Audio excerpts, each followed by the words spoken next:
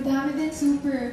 Uh, kanina po during the mass, during the, habang nag-reflect ako, naiyak pa ako kasi naisip ko lahat ng blessings na binigay sa akin because of the show.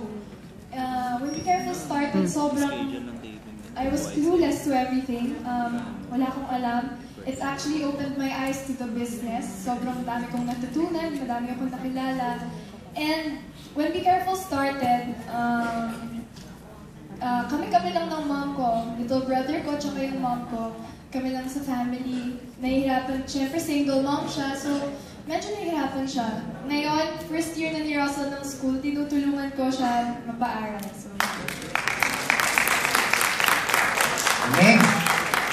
Jerome, ikaw, ano bago sa'yo? Uh, sa akin po, uh, pinagbago, uh, syempre unahin ko po, syempre, nung uh, way back two years ago na ito yun naman talagang payatot na payatot ako ngayon hindi ko alam kung taba ba o laman o muscles ba. Hindi ko alam pero napakalaki po nang nagbago sa akin kasi unang-una po, yung napakarami na yun is yun po yung rami ng mga tao na kilala ko, mga pamilyang tinuri ko na pong nanay, tatay, mga ate, kuya, at syempre mga kaibigan ko na araw-araw na silang nilook forward ko na makikita ko at alam kong nakalook forward din sa akin para tignan ako, para alam nilang tutulungan nila ako at anytime na kailangan ko sila, andyan po sila para pasayan ako kung happiness or sa kalungkutan. Yung po malaking pinagbago at syempre, uh, dati po talaga sobrang wala po akong alam sa business, sobra. Um, natatandaan ko po pinakauna po ng taping namin talagang Ewan ko natatandaan ng mga kasama ko talagang ang sama pa ng tingin ko sa 80 namin dahil sinisigawan ako. Seryoso po yun. So, nalaman ko na lang instantly na parang natural lang yun dahil talagang nagagalit sila dahil hindi nila nakukuha yung gusto ko. Ay, si Dirk Hanggang sa... Uy, kayo! Pero iba pala, pag, alam mo yun, parang naging, na, na mulat na yung mata mo sa industriya na ganito lang talaga yung trabaho pero nakilala ko po bawat isa sa mga staff na kung ano sila sa personal eh, talaga pong iba naman po. Ang isa lang naman po nasa isip nila, hindi po dahil sinisigawan ka dahil galit sila sa inyo, kundi po dahil gusto lang nila is mapabuti ako. Yung po ang pinakamalaking natutunan ko sa industriya to at sa Be Careful.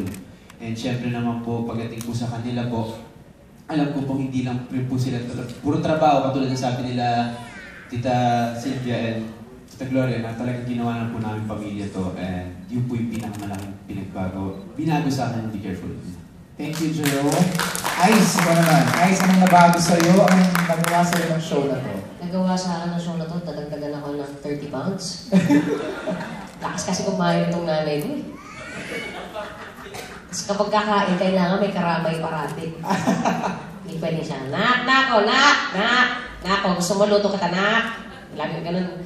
Pero siguro, kidding aside, ah, uh, kung may nabago man sa akin, eh, yun yung nadagdagan ako ng mga taong mahal. Uh, nadagdagan ako ng bagong mga kaibigan, ng bagong nanay, bagong mga kapatid.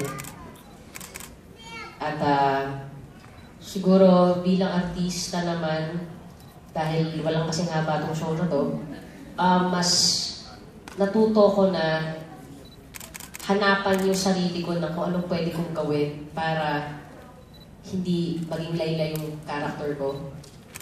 Mas, syempre kailangan mas maging natural, mas paano ko siya ma, paano ko siya mapapahaba ng interesting pa rin ako. So, mas yun, mas yun ang, yung nangyari sa akin. Ah, uh, syempre, uh, financially, nakatulong ng marami. Although yun nga, napansin ko, mas artista ako ngayon kaysa senior. Tagal ko lang, siguro kung may nabago man is yun. Uh, hindi na ako, miss ko lang kumanta. Hindi na ako ganong nakakapag-gigs. Um, although, kumbaga, limited, syempre, because of tapings. But, kumbaga, yung kapalit naman nun is, yun, working with these people and it makes me happy also. Right. Thanks, Ice.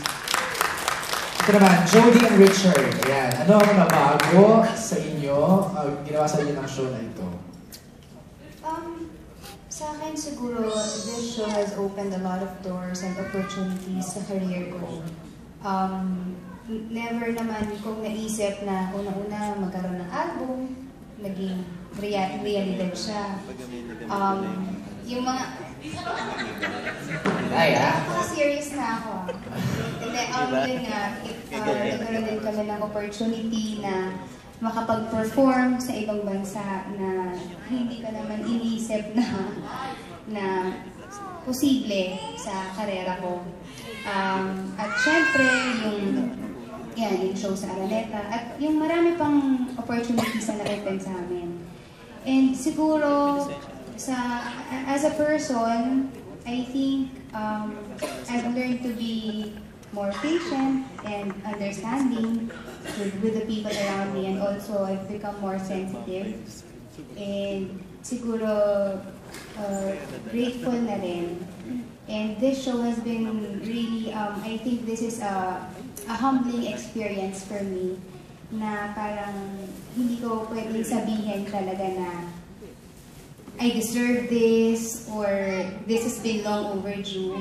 But you know, God has been so good to me. That's why He gave this blessing sa life ko. And it has been a wonderful journey. Gaya nung kinanta mo kanina. Richard, ikaw naman. Ah, sa akin naman, aside from nadagdagan yung eyebags ko, Sama din mga admirers mo. dumami yung ah, puting buhok ko. um, nadagdagan na ako ng friends, ng close friends dito. Ah, hindi ko mala, hindi ko ano, um, I never thought that I'd find true friends dito sa sa showbiz. And hindi lang inside uh, during during when we're taking even uh, outside may kabarkada na ako sa golf si Joma. so uh, we found true friends among amongst us. And um, nadagdagan din yung confidence ko in uh, in um, in acting and singing.